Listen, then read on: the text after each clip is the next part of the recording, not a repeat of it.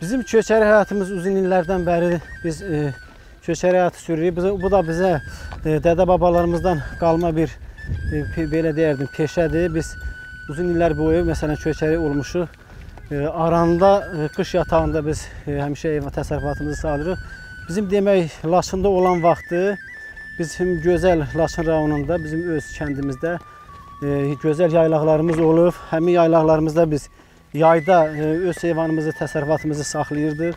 Oranın təbiəti, havası, suyu öz gözəlliyi ilə e, demək orada təsərrüfat saxlamaq üçün yayda o e, yaxşı yararlıdır.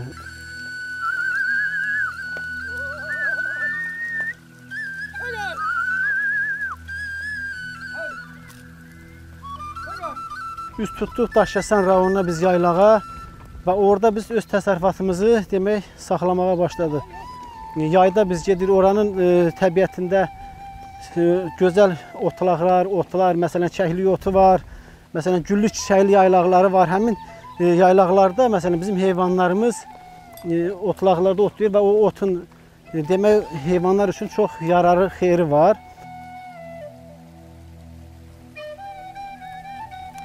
Yol üzünü atlarla yığırıq. Elə olur ki, o axsağın xəstəsini maşınla gətiririk. Amma kök şəraitində bu bizim əsasən ata-babada təsərrüfatın məşğuliyyətimiz olur.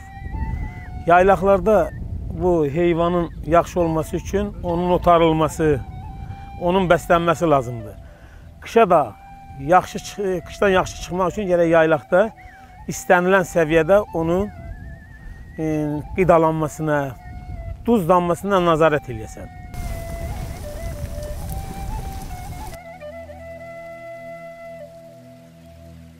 Laçında olurduq, dağlarımız var idi. Qaçqın düşdük. İndi Daşkəsənə dağlara gedirik.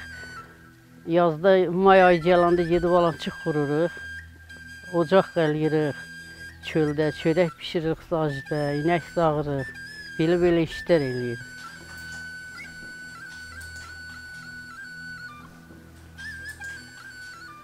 Məskunlaşan insanlar da heyvandarlıqla məşğuldur. Əsasən yay mövsümündə Daşkəsən rayonuna yaylağa gedirlər. Onlardan bu il 109 ailə Daşkəsən rayonuna yaylağa gedib. 2531 baş iri buynuzlu malqara, 11645 başda xırda buynuzlu davar Daşkəsən rayonunda yaylağa aparmışdılar.